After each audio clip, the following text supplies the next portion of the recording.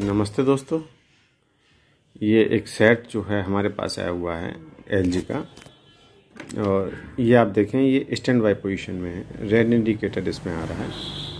इसको जो हम ऑन कर रहे हैं तो ये ऑन नहीं हो रहा है। ठीक है? तो इस बोर्ड में स्टैंड बाई का प्रॉब्लम है। स्टैंड बाई के प्रॉब्लम में हमको समझना यह है कि स्टैंड बाय है क्या? स्टैंड बाई का मतलब ये है कि जो हमारा प्रोसेसर है, ये काम नहीं कर रहा अगर प्रोसेसर हमारा सही काम करेगा तो सेट ऑन हो जाएगा। अब प्रोसेसर काम सही नहीं कर रहा है, इसका मतलब क्या है कि या तो इससे रिलेटेड कोई ना कोई सप्लाई में प्रॉब्लम है, या इससे रिलेटेड किसी मेमोरी सिस्टम में प्रॉब्लम है, या फिर ये प्रोसेसर ख़राब है।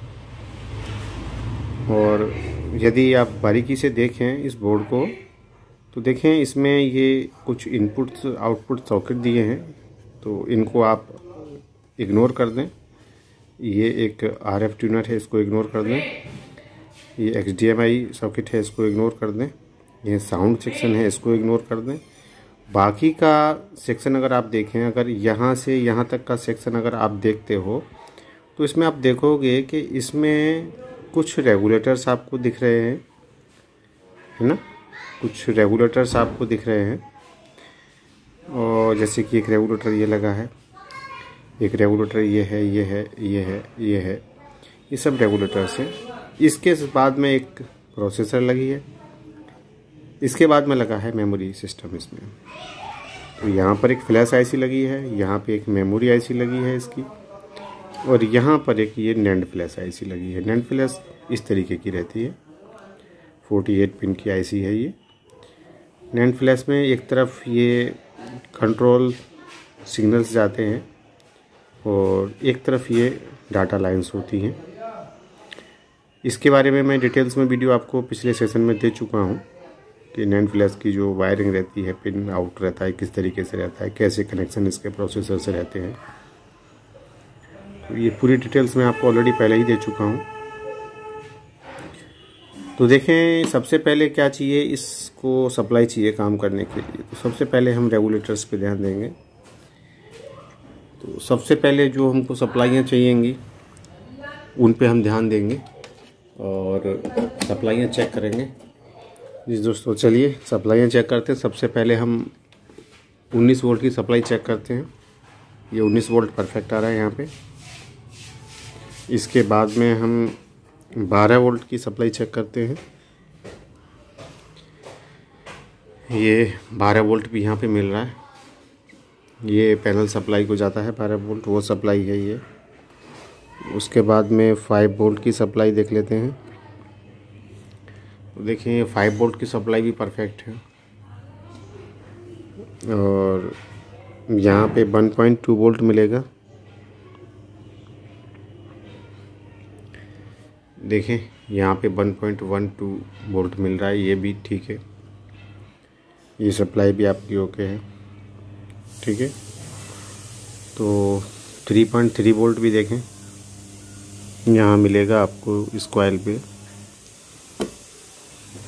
देखें 3.3 वोल्ट भी मिल रहा है यहाँ पे कॉयल पे। ये 3.3 वोल्ट भी ओके है। फ्लैश के पिन नंबर एट पे देखते हैं, सप्लाई है या नहीं है। Pin number eight. देखें, यहाँ पे भी three point three volt present है। इसका मतलब ये भी ठीक है। अभी आ जाते हैं हम मेमोरी आईसी पे। इसके भी पिन नंबर एट पे सप्लाई आनी चाहिए थ्री पॉइंट थ्री वोल्ट देखें, ये भी थ्री पॉइंट थ्री वोल्ट आ रही है यहाँ पे। मेमोरी आईसी पे भी। नैंड फ्लैश भी 3.3 वोल्ट से काम करती है पिन नंबर 37 पे पॉजिटिव सप्लाई रहती है पिन नंबर 12 पे पॉजिटिव सप्लाई 3.3 वोल्ट रहती है। देखें, ये भी 3.3 वोल्ट आ रहा है इसमें भी। इसका मतलब ये जो स्टैंड बाई सप्लाई है इसकी, ये ओके है इसकी। अब देखें मेमोरी सिस्टम की सप्लाई में नैंड फ्लैश की जो सप्लाई है, वो हमको मिल रही है। जो फ्लैश है, उसकी भी सप्लाई मिल रही है मेमोरी की सप्लाई भी मिल रही है।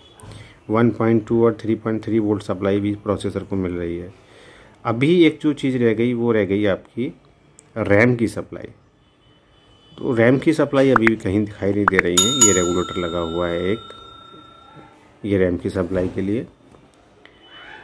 तो यहाँ पे सप्लाई हमको मिलना चाहिए। देखें, यहाँ पे हमको कोई सप्लाई नहीं मिल रही है, रैम सप्लाई। तो ये ग्यारह सत्रह सीरीज़ का एडजस्टेबल रेगुलेटर है। इनपुट पिन ये है इसकी। यहाँ पे चेक करते हैं। यहाँ पे देखें थ्री पॉइंट थ्री वोल्ट इन हो रहे हैं। जब थ्री पॉइंट थ्री वोल्ट इसमें इन हो रहा है तो आउटपुट हमको मिलना चाहिए यहाँ पे, और यहाँ पे आउटपुट हमको कोई नहीं मिल रहा है। तो इसका मतलब ये रेगुलेटर हमारा काम नहीं कर रहा। ये इसका रेफरेंस पिन है, क्योंकि एडजस्टेबल रेगुलेटर है तो ये रेफरेंस पिन है। तो रेफरेंस पिन पे देखें, यहाँ पर भी कोई वोल्टेज नहीं मिल रहा आपको। है ना? तो इसका मतलब ये है कि ये जो रेगुलेटर है, आपका काम ही नहीं कर रहा है। अगर इसमें इनपुट सप्लाई नहीं होती तो हम मान सकते थे कि हाँ कुछ दिक्कत हो सकती है, पर ये इनपुट सप्लाई होने के बाद भी आउटपुट हमको कुछ नहीं दे रहा है। इसका मतलब सीधा सही यही है कि ये रेगुलेटर काम नहीं कर रहा है। अच्छा इसमें कुछ शॉर्टिंग अगर होती तो ये वोल्टेज ड्रॉप हो रही होती थ्री पॉइंट थ्री वोल्ट पर ये ड्रॉप भी नहीं है। ये स्टेबल खड़ी हुई है। रेगुलेटर को अगर छू के देखें आप तो ये गर्म भी नहीं हो रहा है। इसका मतलब शॉर्टिंग नहीं है यहाँ पर। ये रेगुलेटर ही काम नहीं कर रहा है। अब हम ये रेगुलेटर चेंज करेंगे, फिर आगे देखते हैं। जी दोस्तों, देखें, हमने ये जो एडजस्टेबल रेगुलेटर था, ये हमने यहाँ लगा दिया है। और अब हम यहाँ वोल्टेज भी चेक कर लेते हैं कि ये जो एडजस्टेबल रेगुलेटर है, इसको लगाने के बाद इस जगह कितने वोल्ट आ रहे हैं।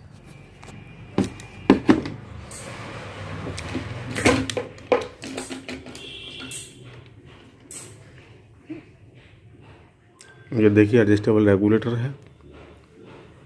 इसके इनपुट पे देखो, आप 3.3 वोल्ट है। और आउटपुट पे देखो, ये इसकी जो रैम की सप्लाई है 1.5 वोल्ट ये आ गई है। और इसके आने से हमारा जो रैम मेमोरी है, वो काम करने लगी है, जो कि आईसी में इनबिल्ट ही है रैम मेमोरी आईसी के अंदर ही इनबिल्ट है। रैम मेमोरी आपको बाहर कहीं नहीं दिख रही है। यहाँ पर फ्लैश है, ये इप्रोम है और ये नैंड फ्लैश है। तो रैम जो है वो आईसी के अंदर ही है। ये इसकी सप्लाई है, जो आईसी में जा रही है, जिससे कि रैम अभी काम करने लगी। और सेट देखें आप, ये ऑन हो गया है। इसमें देखें, पर इसके बैकलाइट जो हैं वो भी ख़राब है, क्योंकि ब्ल्यू दिख रहे हैं। ये बाद में चेंज करने पड़ेंगे। तो ये देखें, ये सेट हमारा ऑन हो गया है, इसको इतना करने से। तो थैंक यू दोस्तों। अभी आपको ये स्टैंड बाय प्रॉब्लम क्यों आता है, उसको उसको आइडेंटिफाई करने में, उसको रिपेयर करने में बड़ी आसानी होगी। जिस तरीके से मैंने आपको ये स्टैंड बाय का प्रॉब्लम समझाया है, कैसे उसको देखना होता है। सबसे पहले रेगुलेटर्स क्योंकि इसको काम करने के लिए सप्लाई की ज़रूरत है। और मेमोरी सिस्टम को काम करने के लिए सप्लाई की ज़रूरत है।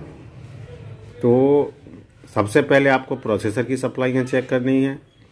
प्रोसेसर की सप्लाइयाँ ठीक हैं तो मेमोरी सिस्टम की सप्लाइयाँ चेक कीजिए। मेमोरी सिस्टम की सप्लाइयाँ ओके हैं प्रोसेसर की सप्लाइयाँ ओके हैं तो आपके प्रोसेसर को काम करना ही चाहिए। फिर आप सॉफ्टवेयर की ओर ध्यान दें। पर यहाँ पे हमने देखा कि पहले ही स्टेप में जो रेगुलेटर्स था वो ख़राब था। हमारे मेमोरी सिस्टम से रिलेटेड रेगुलेटर था वो। उसको बदलने से हमारा ये काम रेडी हो गया. थैंक यू दोस्तों.